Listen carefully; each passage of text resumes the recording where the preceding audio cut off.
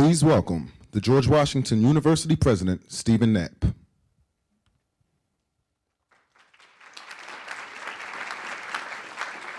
Good morning.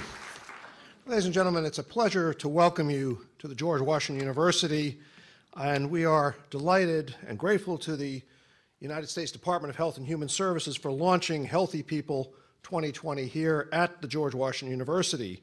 I'd like to extend a special welcome to all the speakers and panelists. It's quite a distinguished assembly that you'll be hearing from this morning, and a special welcome to Assistant Secretary Howard Koh, and Surgeon General Regina Benjamin, and all the Health and Human Service leaders who have joined us today.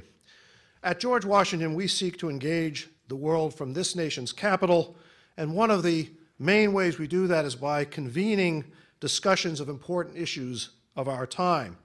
Today, we're delighted to participate in this discussion about creating a healthier America through science, policy, and practice. And this is also an opportunity for our students to experience knowledge in action, which is a particular hallmark, excuse me, of a George Washington education. Dean Lynn Goldman, the new dean of our School of Public Health and Health Services, was very eager to be here today to participate in this discussion and to introduce uh, the conversation.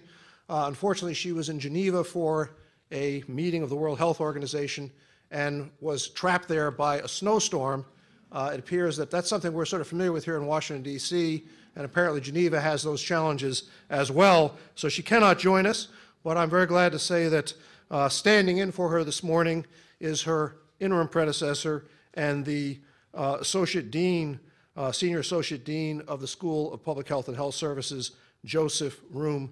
Ladies and gentlemen, please join me in welcoming Dean Josef Reum.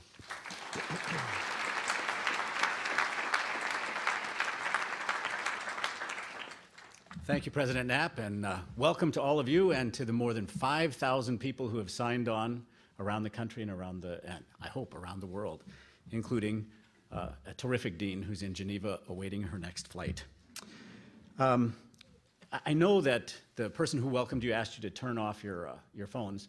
Here's what I'd ask you to do is to put them on silence because uh, unlike when Healthy People 2010 was, uh, was unveiled, you can now tweet.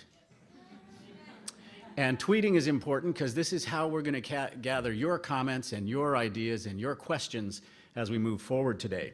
So uh, I get to say this out loud for the first time in my life. Go to your hashtag, HP2020, or via email at healthypeople2020 at air, is that right? Yeah, AIR.org. Uh, we're thrilled to have you here. We're thrilled to have you here in part because the George Washington University School of Public Health and Health Services, uh, the people that come here, they, our students, they tell us, I'm, I'm coming here because I want to change the world.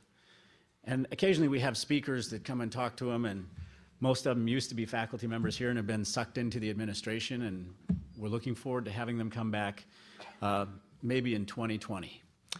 The, uh, the other exciting thing about, uh, about being at the George Washington University is that we, uh, we're right here. We have the World Health Organization down the block, PAHO down the block, the, the IMF. Um, and I go to some meetings where people go, you know, the thing about public health is this. When nothing happens, it works. And that's hard to measure.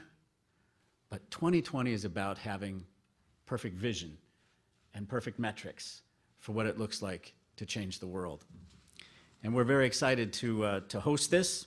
Um, our first speaker is uh, Dr. Howard Koh, who serves as the 14th Assistant Secretary for Health and, uh, for the United States Department of Health and Human Services. As the Assistant Secretary, Dr. Koh oversees HHS Commission Corps of the U.S. Public Health Service and the Office of the Surgeon General.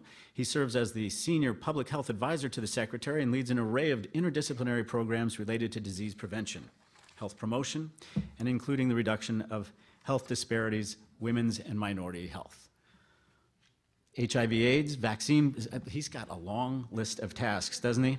Uh, physical fitness and sports, bioethics, uh, population affairs and research integrity and human research protections. He's the champion of healthy people, and we are delighted to have him here with us today. Please welcome the Assistant Secretary of Health, Dr. Howard Koh.